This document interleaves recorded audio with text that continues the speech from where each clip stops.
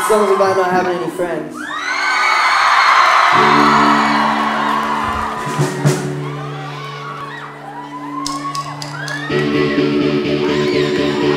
Thank